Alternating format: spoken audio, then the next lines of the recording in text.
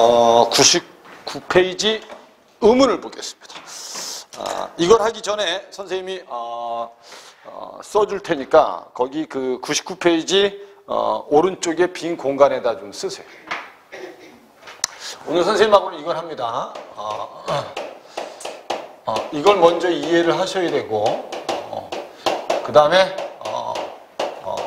그 다음에 이제 이걸 이해하시면 돼요. 의문 변동을 됐죠? 어? 근데 어, 의문에 대해서 알려면 어, 기본적으로 우리는 이걸 머릿속에 좀 알고 있었으면 좋겠어요. 어, 이걸 먼저 좀 알아야 돼요. 음. 음. 문법 단위에 대해서 먼저 공부를 좀 하셔야 됩니다. 어? 그리고 오늘 수업 들은 거는 수업 끝나자마자 집에 가서 바로 암기를 좀 하셔야 돼. 어? 어, 3학년들 모의고사에 3월달 모의고사에 문법이 어렵게 나왔어요. 그래서 앞에서 아이들이 문법 풀다가 시간을 너무 많이 보내니까 시간 조절을 잘 못해서 뒤에 어? 어, 지문들이나 문제를 읽지도 못하고 풀지도 못해서 점수가 떨어진 학생들이 있었던 거야. 어? 그리고 문법은 선생님이 미리 얘기할게요. 이렇게 생각하면 돼. 문법은 애매하게 공부하면 아예 안 한 학생하고 똑같아요. 어? 그리고 이 문법은 난이도를 언제든지 출제할 때 선생님이 난이도를 어렵게도 낼 수 있고 쉽게도 낼 수 있고 자유롭게 조절할 수 있는 게 문법이에요. 어? 그래서 문법이 만약에 학교 시험에서 어렵게 나왔다. 어? 이러면 진짜 공부를 잘하는 학생 말고는 대체로 문법 문제를 잘 맞히지 못해요. 이해됐죠? 그러니까 오늘 선생님하고 수업 끝나면 반드시 집에 가서 암기를 해서 알았죠? 익숙하게 만들어야 돼요. 이걸. 무슨 말인지 이해됐죠? 그래서 원래 문법 단위 중에서 가장 작은 단위가 뭐냐면 어, 이렇게 알아두시면 돼요. 의문입니다. 의문이에요. 알았죠? 의문이 문법 단위 중에서 가장 작은 단위다. 어? 다 써놓으셔야 돼. 의문인데 의문은 뭐냐면 어, 이렇게 알아두시면 돼. 의미 구별의 의미 구별의 최소 단위다. 이렇게 알아두시면 돼. 머릿속에 이해를 해서 외우라 그랬어 선생님이. 어? 의미 구별의 뭐다? 최소 단위가 문법이다. 알았죠? 어? 선생님 봐봐. 선생님 봐봐. 만약에 말이란 말이 있고 알았죠?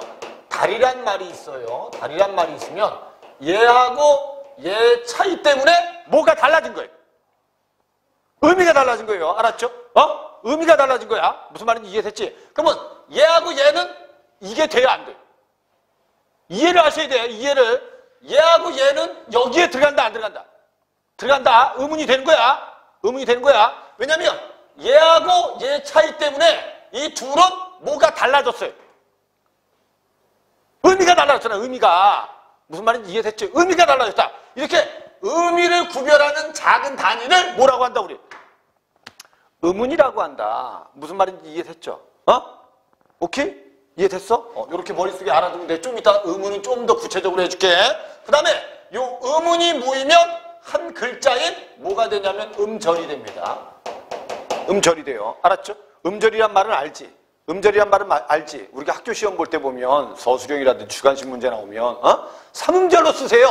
어? 삼어절로 쓰세요. 이런 말 나오잖아. 알았죠? 이때 음절은 바로 이 글자 수인데 이거는 그리 우리 문법 단위에서 중요하지 않습니다. 이해되죠? 이건 그렇게 중요하지 않다. 왜냐하면 이렇게 보면 돼. 의문이 모여서 뭐가 될 수 있다? 의문이 모이면 뭐가 되는 거예요? 음절이 되는 거야. 알았죠? 근데 내가 아 이렇게 착각하지 말고 하나의 의문 가지고도 음절을 만들 수 있다 없다. 하나의 의문을 가지고도 음절을 만들 수 있습니다. 알았죠? 그게 대표적인 게 모음이에요. 알았죠? 모음이야. 그러니까 우리가 자 선생님이 이제 하나 물어볼 건데 이해를 잘해야 돼. 요건 의문이 몇 개일까요? 의문이 몇 개일까요?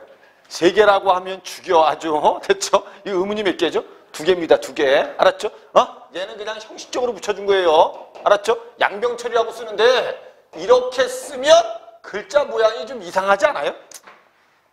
맞잖아. 그죠? 그래서 이건 형식적으로 붙여준 거야, 이건. 알았죠? 글자 모양 때문에. 이해됐죠? 그럼 이거는 의문이 이렇게 두 개가 모여서 하나의 뭐가 된 거예요?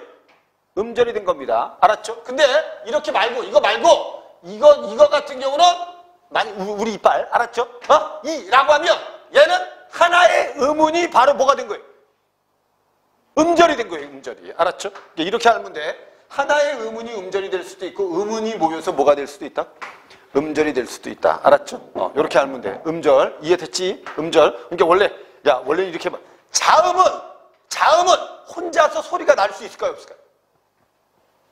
소리가 날 수 없어요. 소리가 날 수 없어. 이것만 가지고 여러분 소리가 나요? 안 나죠? 알았죠? 근데 반드시 여기에 뭐가 있어야 돼? 모음이 이렇게 붙어야 돼요. 이해 됐죠? 그래야지 소리가 나는 거야.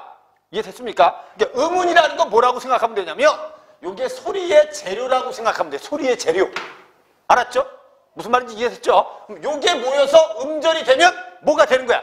소리가 나는 거야, 소리. 알았죠? 그래서 얘는 이제 뭐의 단위라고 하냐면 이렇게 돼. 소리의 단위다. 됐죠? 요건 근데 아, 시험에 이렇게 많이 나오지 않아. 음절은. 알았죠? 어? 그리고 한 가지만 알아도, 한 가지만 알아도. 우리나라 문자는 나중에 우리 교과서에 보면, 목차에 보면 국어의 역사라는 게 있을걸? 알았죠? 교과서에 목차에 국어의 역사라는 게 있을 거야. 이 국어의 역사를 1학기 때 시험을 보는 학교가 있고, 알았죠? 2학기 때 시험을 보는 학교가 있는데, 어? 우리나라 문자에 대해서는 기본적으로 알고 있어야 돼. 우리나라 문자는 음운 문자입니다. 음운 문자예요. 알았죠? 그러니까 우리가 우리나라 문자하고 영어가 같은 거야. 영어에도 자음과 모음이 있어요, 없어요?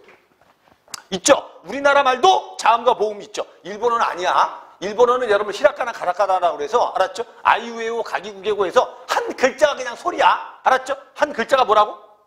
그냥 소리야. 그러니까 우리가 일본어는 이렇게 쓰고 뭐라고 하죠? 아! 이렇게 발음하죠, 그냥. 알았죠? 아이우에오 가기국에고 이렇게 돼 있단 말이야. 알았죠? 이렇게 쓰고 뭐라고 해? 가! 이렇게 발음해요. 알았죠? 그럼 요 한 글자가 그냥 바로 음절이면서 소리의 단위. 이해됐죠? 그러니까 원래 일본어는 음절 문자입니다. 무슨 문자? 음절 문자예요. 알았죠? 근데 우리나라 말은 음운 문자예요. 그럼 너희들 음절 문자하고 음운 문자 중에서 뭐가 더 발전된 문자 같아요? 음운 문자가 더 발달된 겁니다. 알았죠? 그러니까 우리 세계적으로 여러분 한글이 아주 우수한 문자라는 건 자부심을 가져야 돼 얘들아. 어? 한글 아니었으면 우리 핸드폰이라든지 컴퓨터 이거 발전 못했어. 이해됐어요? 어? 그러니까 이 한글은 음운 문자다. 그래서 원래 이 음운이 모여서 뭐가 된다? 음절이 된다. 알았죠? 오케이? 음운은 그래서 무슨 뜻이다? 의미를 구별하는 뭐다? 최소 단위다. 알았죠? 오케이? 이렇게 머릿속에 알아도 그 다음에 요 음절이 이제 모이면 요게 이제 뭐가 되냐면 문법 단위 중에서 요게 되는 거야. 뭐가 된다? 형태소라는 게 되는 거야.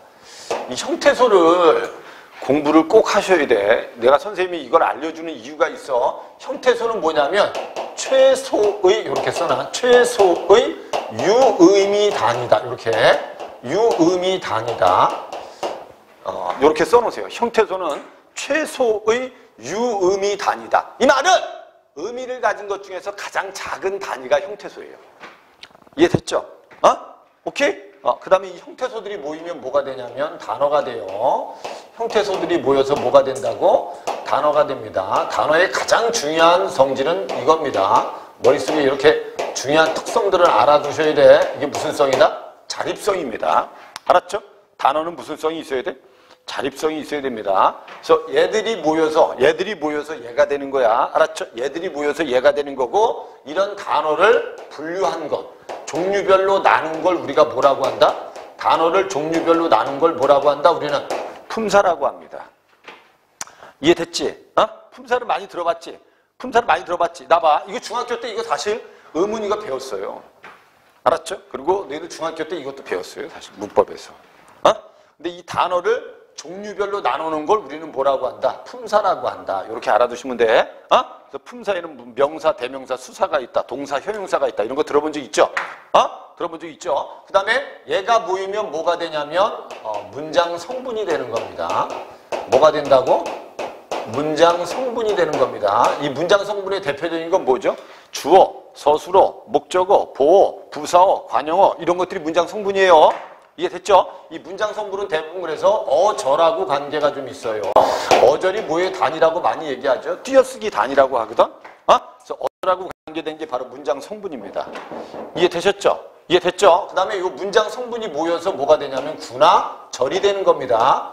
구나 절이 되는 거예요. 이게 문법 단위예요. 그 다음에 구나 절이 모여서 뭐가 되냐면 문장이 되는 겁니다. 어, 그래서 이 문장은 이제 완결된 하나의 의미를 가지고 있는 완결된 형태를 우리는 문장이라고 하거든요. 어? 이 문장들이 모이면 이제 뭐가 되냐면 담화라는 게 되는 겁니다. 문법 단위는 여기까지 알고 있으면 됩니다. 알았죠? 문법 단위는 여기까지는 알고 있어야 돼. 그러니까 우리가 자 봐봐 야, 야 우리가 수능에서 문법을 잘하거나 학교 시험에서 문법을 잘하려면 어? 문법의 기본적인 지식은 바탕에 깔려 있어야 돼요. 알았죠? 깔려 있어야 되는 겁니다. 그러니까 선생님이 제일 아쉬운 학생들은 이거야. 의문을 공부할 때, 의문을 공부할 때 의문만 알아가지고 문법을 잘 볼 수는 없어요. 알았죠? 이 의문뿐만 아니라 얘도 다 알아야 돼요. 그래야지 문법 시험을 잘 봐요. 어?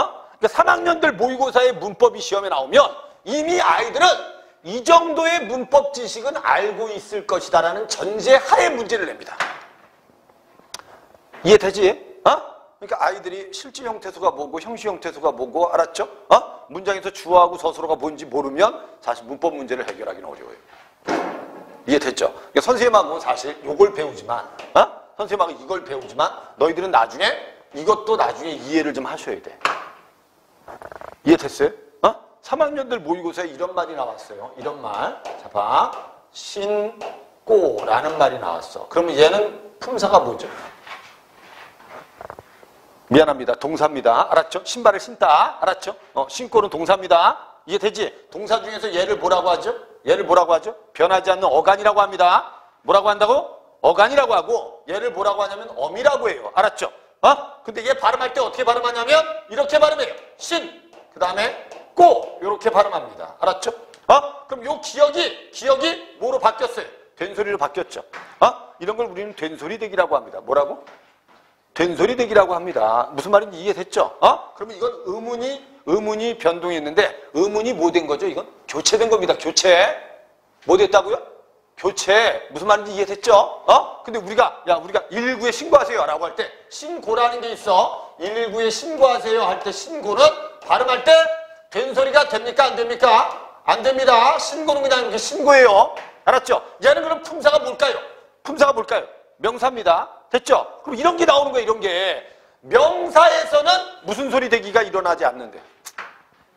된소리 대기가 일어나지 않았어요. 알았죠? 근데 용언의 어간과 어미의 사이에서는 무슨 소리가 일어난 거예요? 된소리 대기가 일어난 거야. 알았죠? 그러니까 우리가 의문 변동할 때 이런 걸 얘기한단 말이야. 학교에서 선택지에. 용언이 뭔지 나오고 어간과 어미에 대한 말도 나오고 알았죠? 명사란 말도 나온단 말이야, 이게. 그러니까 이걸 잘 보기 위해서는 나중에 이걸 어느 정도 알고 있는 게 중요하다는 거야. 알았죠? 어? 선생님이 나중에 알려는 주겠지만 잘 봐. 문법 단위의 기본적인 흐름은 좀 알고 있어야 돼. 흐름은 잘 봐. 왜 봐? 얘가 모여서 뭐가 되고? 음절이 되고 음절이 나중에 형태소가 되고 알았죠? 형태소들을 재료로 해서 뭘 만드는 거야? 단어를 알았죠? 단어를 재료로 해서 만드는 게 뭐다? 문장 성분이다. 알았죠? 어? 그리고 문장 성분을 재료로 하면 나중에 문장이 됩니다. 이해됐죠? 이해됐죠? 그래서 이런 걸 다 공부하면 나중에 너희들이 뭘 알 수 있냐면 학교에서 이걸 배울 거야, 이걸. 나중에 이걸 배워요. 문법 요소라는 걸 배웁니다. 학교에서. 알았죠? 이 문법 요소가 뭐냐면 높임법, 어? 사동, 피동. 알았죠? 그 다음에 부정문, 그 다음에 시제 이런 것들을 배우게 돼요. 알았죠? 이걸 다 알고 있어야지 이걸 이야기가 편한, 편한 거야. 이걸 이야기야. 그러니까 오늘 선생님하고 어떻게 보면 오늘 배우는 문법은 문법 중에서 아주 기본적인 거라고 생각하셔야 돼요. 알았죠? 그리고 요걸 잘 알아두면 나중에 국어의 역사를 이해하는 데도 도움이 된다.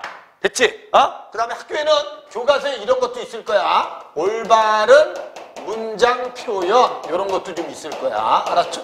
어, 이 단어를 내가 정확하게 이해하려면 이거에 대한 이해가 돼 있어야 돼요. 문장 성분에 대한 이해가 정확해야 돼요. 알았죠? 그러니까 니들 봐봐. 문법을 내가 잘하려면 이 기본적인 문법 단위에요. 이거. 알았죠? 이거는 다 알고 있어야 돼. 그리고 구별할 줄 알아야 됩니다. 이해되셨죠, 이제? 이해됐죠? 어, 됐습니다.